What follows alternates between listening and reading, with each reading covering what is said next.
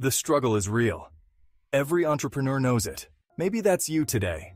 Maybe your dream business feels like a never-ending uphill battle. Rejection stings, the to-do list seems endless, and the comfort of a steady paycheck whispers in your ear. You see others with their seemingly perfect jobs, and the doubt creeps in.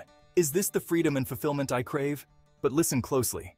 Every single entrepreneur you admire faced moments of doubt and setbacks. They hustled day and night, dealt with countless rejections, and questioned their sanity at times. But they persevered, fueled by a burning passion and a belief in their ideas. Quitting your daydream is easy. It's staying comfortable, playing it safe.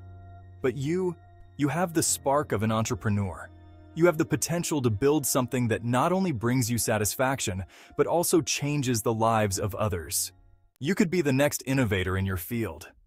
You could create jobs in your community, inspire aspiring entrepreneurs like yourself, and build a brand that stands for something bigger than just profit. Are you afraid to take the first step towards your dreams? Don't just dream about being your own boss. Start your hustle, because the greatest success stories often begin with the most challenging journeys. The sleepless nights, the rejections, the struggles, they all become stepping stones to something remarkable. Share this message with someone who needs to hear it today. It could be their catalyst for becoming the best version of themselves. So take a deep breath, pick yourself up, and unleash the entrepreneur within. The world needs your innovative ideas, your relentless spirit, and your passion for building something incredible.